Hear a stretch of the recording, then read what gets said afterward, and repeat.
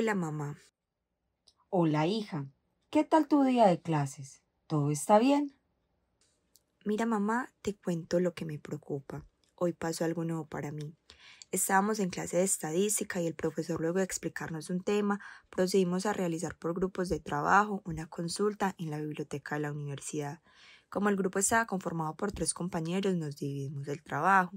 Estando en la biblioteca, procedimos a buscar en los libros en Internet información sobre nuestros temas y realizamos un informe de lo leído y así lo entregamos, dando nuestras ideas y conclusiones.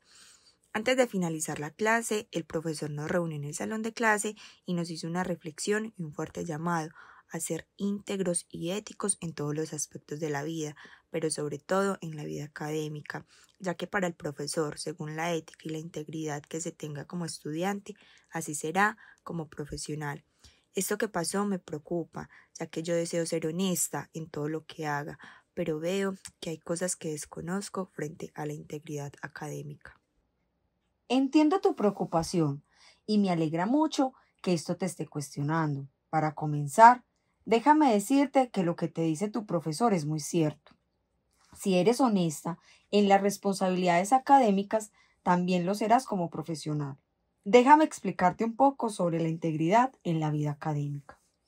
Para comenzar, es necesario que sepas que no hay una ética para la vida académica y otra para la vida social sino que los comportamientos éticos en la vida académica responden a unas actuaciones muy específicas. No cometer fraude tratando de copiarse en los exámenes y pruebas. Hacerlo es robarse a uno mismo, ya que estás impidiendo aprender. Además, estás usando la trampa para ser reconocido y obtener resultados.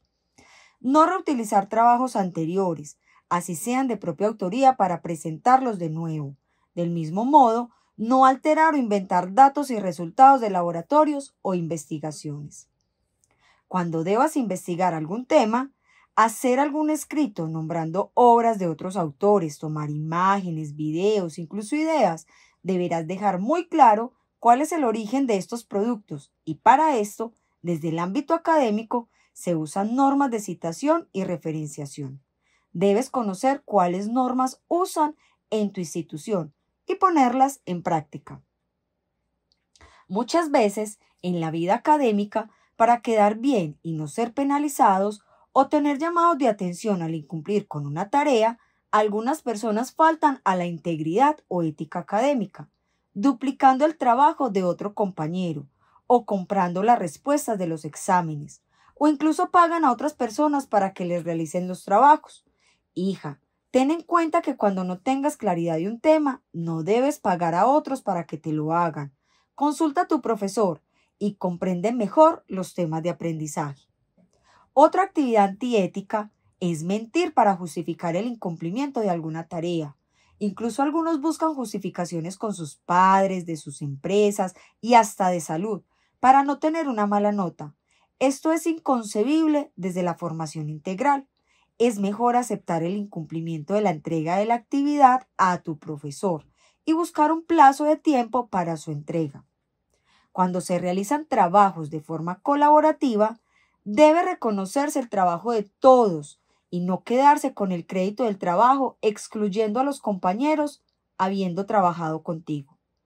Tampoco es correcto incluir nombre de compañeros en la entrega de un trabajo cuando éste no participó en su elaboración. Hay una regla ética muy valiosa y es el respeto por el docente.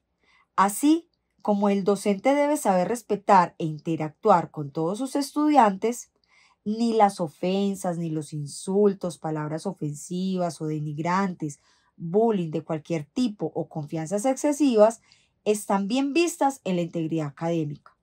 Tanto el profesor como el maestro y orientador, así como el estudiante como aprendiz, deben manejar la cortesía y el respeto en todo tiempo y lugar.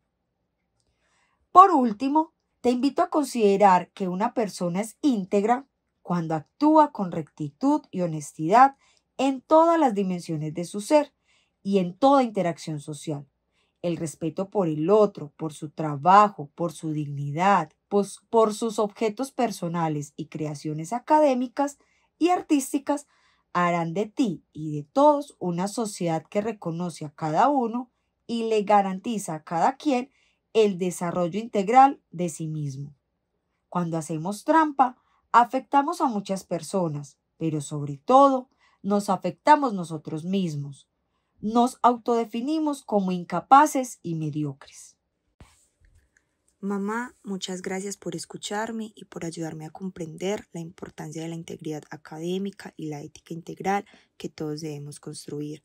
A partir de este momento voy a pensar en cada acto que realice y buscaré actuar en honestidad y respeto, siguiendo las buenas costumbres y cumpliendo las normas establecidas.